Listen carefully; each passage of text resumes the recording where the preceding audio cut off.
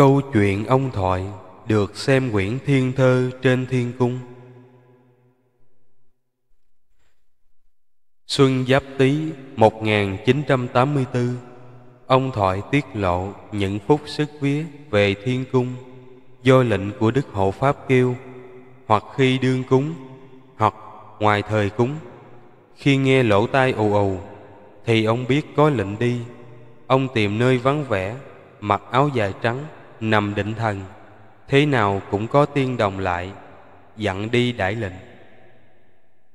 Ông thuật lại, lúc còn ở quân đội 1947, ông đao trận đao thập tử nhất sanh, bộ tham mưu còn đóng ở mé rừng thiên nhiên, phía cây gõ. Sáng ra, ông cầm chổi quét lá trên mộ đức cao thượng phẩm, tháp cũ. Bỗng bị ngất xỉu, người ta khiêng đem về nhà, trị bệnh đủ thứ thuốc, mà vẫn không hết. Nằm thiêm thiếp. Ông giáo hữu thượng tý thanh lại thăm, thấy quá tệ, ông mới lo cái hòm về để sẵn. Người ông chỉ còn ấm cái ngực, chớ hơi thở tắt rồi. Thinh không, ông thấy tiên đồng đến dẫn đi đi hoài, đi thật xa, lên một cảnh đẹp, gặp đức cao thượng phẩm đức hộ pháp và đức quyền giáo tông. Đức thượng phẩm nói, bần đạo triệu con về đây trị bệnh cho con. Kế, tiên đồng dẫn ông đi tới chỗ, biểu ông tắm rửa sạch sẽ. Rồi chỉ trên phiến đá, có một cái nút.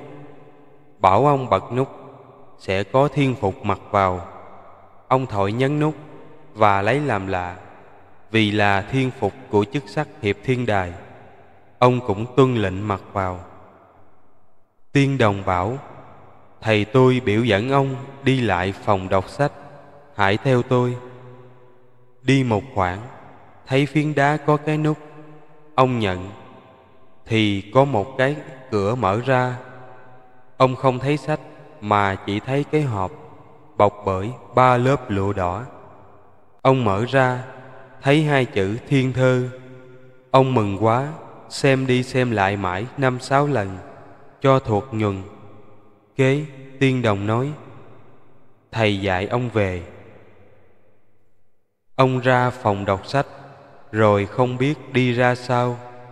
Ông trở lại trần thế, sáng lại. Thấy ông thừa sự trấn, lại nói, thầy kêu anh lên có việc.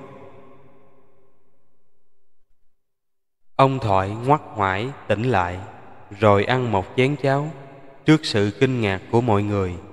Nhờ ông trấn chở xe đạp đến hộ pháp đường. Đức hộ pháp hỏi, con còn đau không? Bạch thầy, có lẽ hết rồi. Con có tắm không? Bạch thầy có. Con có mặc đồ thiên phục không? Bạch thầy có. Con có đọc sách không?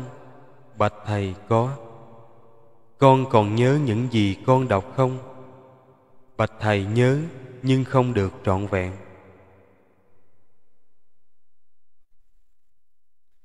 Đức ngài biểu ông trấn đốt nhang trên thiên bàn hộ pháp đường, cho ông thoại và nói rằng, từ nay không được tiết lộ những điều gì trong quyển thiên thơ mà ông đã đọc. Ông thoại làm theo lệnh thầy, không dám mãi mai xê dịch. Ông nghĩ mình thấy Đức Hộ Pháp mà Đức Ngài hỏi đúng việc mình đã làm thì làm sao dám nói trái với sự thật. Tôi hỏi thêm về cảnh thiên liêng. Anh có gặp ai là người quen không? Ông nói có khi hỏi ở cung hiệp thiên hành hóa.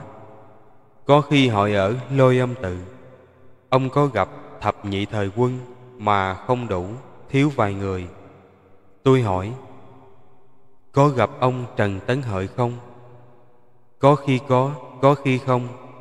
Có lẽ những người vắng mặt có phận sự trấn nhậm nơi khác nên mình không có gặp. Còn cái đẹp thì ôi thôi, không có từ ngữ nào mà kể, huyền ảo làm sao. Ông giáo sư Ford mới đi tới địa cầu 67 mà đã thấy đẹp quá rồi huống chi đi trên cảnh thiên cung thì đẹp gấp trăm ngàn lần như vậy nữa. Tôi hỏi, kiểu vở nhà ở có giống thế gian mình không? Ông Thoại nói tả không được. Nó không giống ở dưới này, nó lạ lắm. Tả không đủ danh tứ diễn đạt.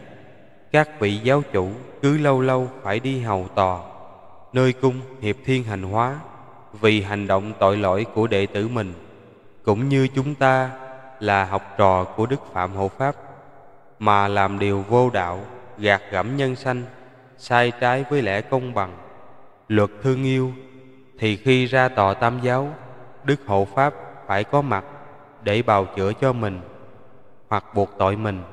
Trái lại, mình làm hiệp thiên thơ, có công quả phi thường, thì các vị thầy của mình cũng hãnh diện với các vị giáo chủ nơi cảnh ấy.